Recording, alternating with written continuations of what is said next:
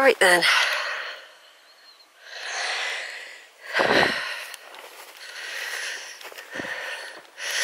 Yeah, I think it must be two million, you know, for the whole thing. I would have thought.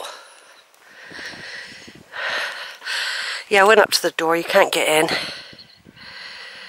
It's going to, like I said, you might pay two million for it, but you've got to spend two million on it. Because the idea of keeping it like that is because it's Wordsworth lived there. See what I mean? There's the old, uh, that's all been kept. That's all cut back.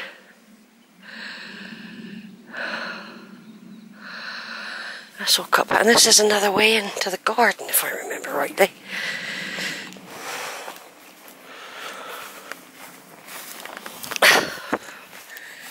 We heard like a door open then, but you do hear things.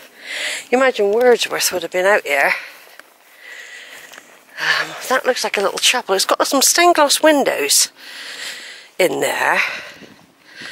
I'm sure used to be able to. Oh yeah, there's the there's the the gate that you should be able to get through in there. That's right.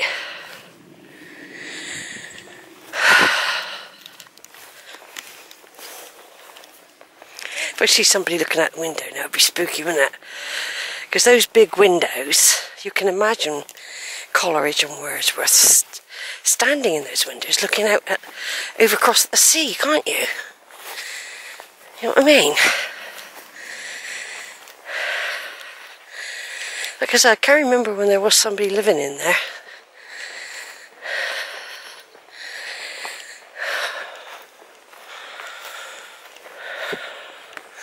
I know I'm using a bit of video up doing this, but I've got to keep an update.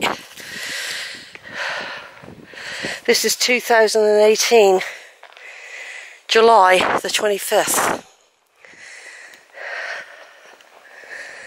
This is July the 25th.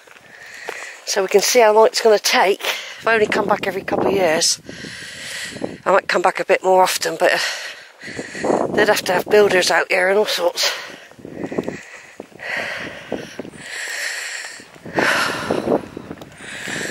We just have a little look around the back here. This is where people, it's just like extra parking area, but oh, yes, it's been tidied up, hasn't it? This has been tidied up a lot. That's why I want to go and see the garden. Oh, I haven't seen this open before. So I said, you come back and another door is open. Oh, another room. Look at the flooring. Tell how old it is, can't you, by this flooring? This is almost medieval, or let's put it 18th century. When Wordsworth is, it's the same floor that when Wordsworth would have been there. laid like this. Like I said, I'm not seeing this bit open, but look at the ceiling with the beams, look. The curve, he just cut straight off the tree, look. That's original. Right, just turn right. off take I've never seen it ever being cut back like this. And it also looks to me like the walled garden is clear as well. Which is what I walk through that barn over there in a minute. Yeah, no, it's this is this is always thick with vegetation, stinging up with brambles. Very interesting though, isn't it? Don't know what these sort of structures are for along here. Storing hay in, do you think? Well propped up. It's under the barn. I suppose it helps ventilate the barn up, up there. Yeah, I often think, oh, we might find an old penny, you know. Victorian penny or something like that. And that little bit on the end there, I often think, although it looks like a stable, it also looks like it might have been even a chapel once. It's got some lead windows in it. No, it's worth coming back. Like I said, these are figs. And I expect this was here when Wordsworth was here. figs. Oh, I can smell mint as well. Look at the floor in here. Yeah, this is roughly, it's all roughly the same as it ever was, okay? Um, the walls, exposure of the walls, what they look like.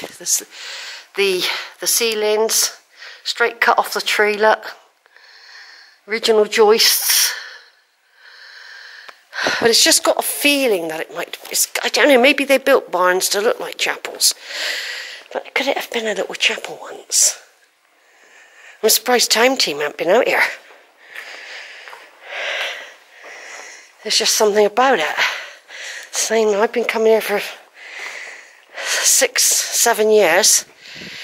No, no, eight or nine years I've been visiting here. It's, and each time I come, it's tidied up a bit more. It has been tidied up quite a lot. Especially the garden area. I think once, when I first came, it was still look, looked like it had been being used. Uh, it wasn't stripped bare like this. And there was more features around. Um, we're going to look around. There's obviously somebody doing a lot of work here. Obviously not today. Yeah, not, I don't know. I just there's a feeling about that little building there. That's the gate that leads you over to the house. Through there. Obviously blocked off now, but I've been through it. Where you'd have your plants growing up, look. And I've never been able to walk along there because it's always up brambleised. It might still be. Might not have got down this far yet. Let me see how bad it is. Yeah, still quite brambleised, but you can see the apples being trained against the walls there.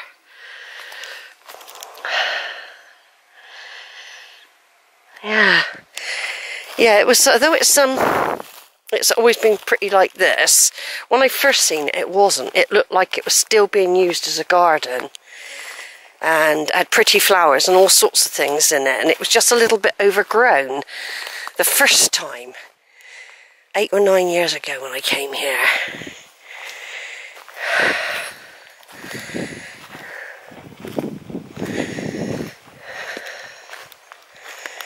And I, and I always say now, and I, as I have done every time I come here, I can imagine Wordsworth and Coleridge and Wordsworth's sister Dorothy sat out here having tea and cake, real English tea and cake in the in the walled garden. It was a feature of that period. All the mansions had them people were self sufficient in their agriculture. You know? Hence, I even had a fig, even got a fig tree there, still bearing fruit. Alright, over now, we'll take some pictures.